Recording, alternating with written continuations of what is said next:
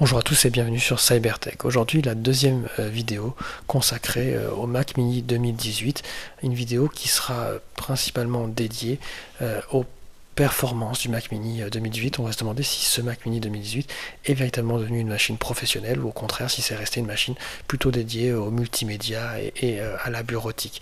Alors on va procéder en plusieurs temps. Euh, d'abord on va s'intéresser aux performances du SSD. On sait que Apple a investi dans des SSD assez rapides.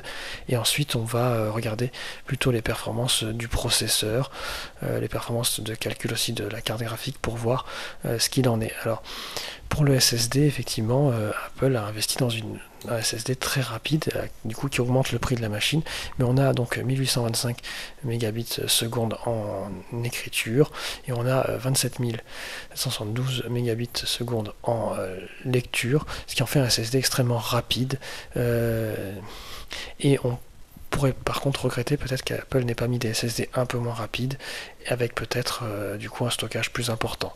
Ensuite si on s'intéresse au processeur, alors là du coup les résultats sont aussi assez euh, incroyables par rapport aux générations précédentes et surtout qu'on va voir que ça permet à ce Mac mini de rivaliser avec euh, les iMac 5K et avec les Mac Pro 2013. Donc on a un, score en single core de 5063 et un score en multicore de 19818 c'est un score assez intéressant en multicœur surtout. Et alors on va on va voir si je vais vous donner les, résultats détaillés pour euh, ceux que ça intéresse et qui veulent euh, pouvoir mieux les interpréter.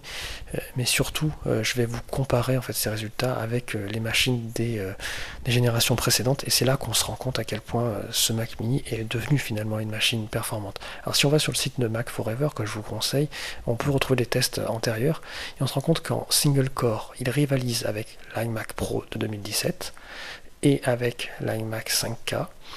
Euh, et surtout en multicœur, on se rend compte qu'il se rapproche effectivement euh, de l'iMac 5K, mais surtout peut battre euh, un Mac Pro 2013 seulement de 4 cœurs.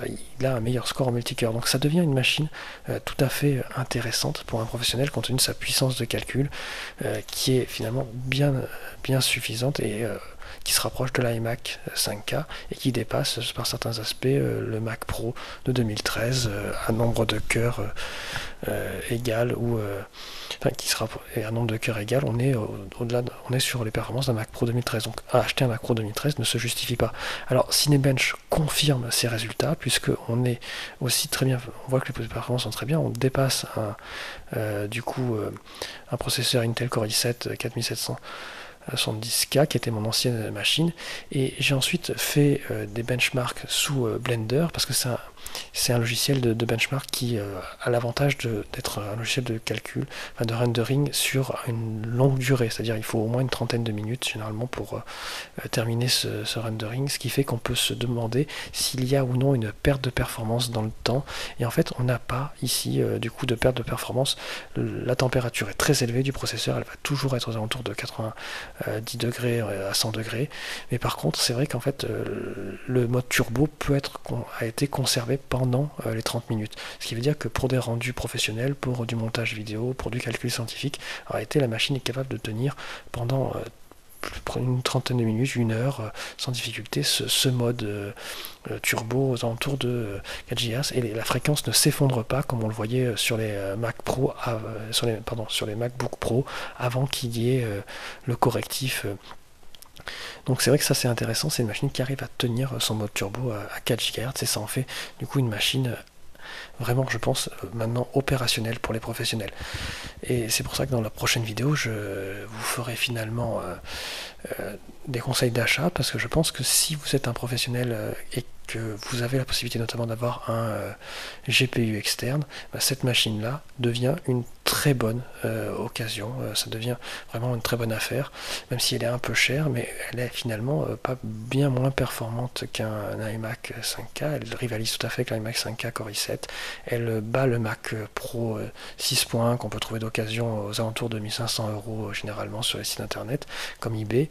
Donc je pense que finalement ce Mac mini Core i5 ou Core i7 selon vos besoins a vraiment des performances suffisantes pour la plupart des usages professionnels pour peu que vous ajoutiez un GPU externe, notamment grâce au boîtier Razer Core X, qui est plutôt bonne, un bon rapport qualité-prix. Si vous ajoutez par exemple une AMD 580, Radeon 580, vous aurez des performances tout à fait honorables et satisfaisantes pour une machine professionnelle à moins de 2000 euros. Alors c'était la deuxième vidéo euh, sur les trois que j'ai prévu de consacrer au Mac Mini 2018. La prochaine, ça sera donc, je vous l'ai dit, un, guide d'achat. Et euh, j'espère que cette vidéo vous a plu. N'hésitez pas euh, à mettre un like si c'est le cas, ou à vous abonner si vous souhaitez voir d'autres vidéos, d'autres tests à venir sur d'autres produits. J'ai notamment un Dell Latitude que je suis en train de tester. et donc à bientôt sur Cybertech et je vous remercie d'avoir regardé ma vidéo.